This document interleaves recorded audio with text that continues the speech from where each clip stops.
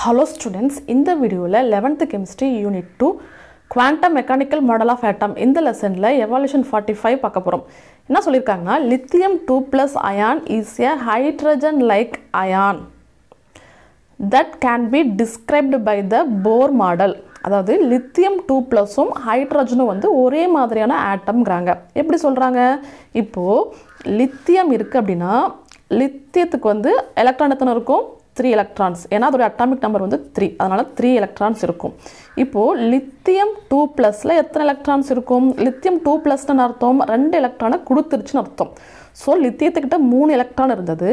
மூணு எலக்ட்ரானில் வந்து ரெண்டு கொடுத்துருச்சு. அப்போ மிச்சம் என்ன இருக்கும்? வெறும் லித்தியம் ஒரு எலக்ட்ரான் மட்டும் தான் இருக்கும். லித்தியம் டூ ப்ளஸில் வந்து ஒரே ஒரு எலக்ட்ரான் தான் இருக்கும் இல்லையா? சரி ஒரே ஒரு எலக்ட்ரான் இருக்கக்கூடிய ஆட்டம் என்னது? ஹைட்ரஜன் ஆட்டம் ஹைட்ரஜன் கிட்ட ஒரே ஒரு எலக்ட்ரான் தான் இருக்கும்.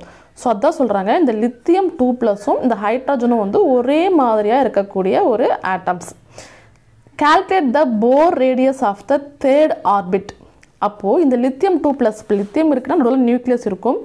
நியூக்ளியஸை சுற்றி வந்து நிறைய எனர்ஜி லெவல்ஸ் இருக்கும். இல்லையா? லித்தியம் டூ ப்ளஸில் இது வந்து லித்தியம் டூ ப்ளஸில் வந்து ஒரே ஒரு எலக்ட்ரான் தான் இருக்கும்.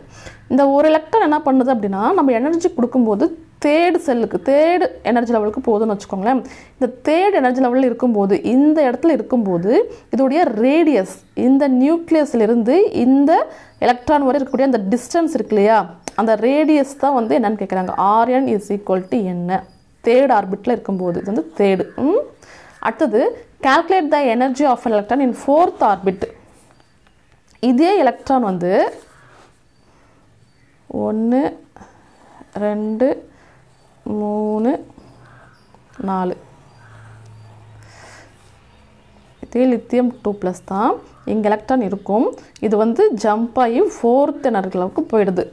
இதாவது இது வந்து ஃபோர்த்து எனர்ஜி லெவல் இங்கே போயிடுச்சுன்னா இதோடைய எனர்ஜி ஃபோர்த்து லெவலில் அதோடைய எனர்ஜி லெவல் என்ன இருக்கும்? அதுதான் கொஷின் சரிங்களா? இப்போ ஃபஸ்ட்டு வந்து ஆர்என் கண்டுபிடிப்போம். ஆர்என் கண்டுபிடிக்கிறதுக்கு என்ன ஃபார்முலா போர் சொல்லியிருக்காரு அப்படின்னா zero point five two nine into N square by Z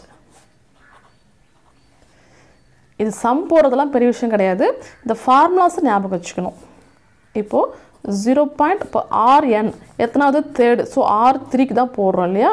So zero point five two nine into N square அப்படிங்கிறது தான் அந்த எனர்ஜி லெவல் என்ன இருக்குது த்ரீ ஸ்கொயர் இல்லையா? ஸோ த்ரீ ஸ்கொயர் இசட் அப்படிங்கிறது அட்டாமிக் நம்பர் அட்டாமிக் நம்பர் என்னது? Three three தானே?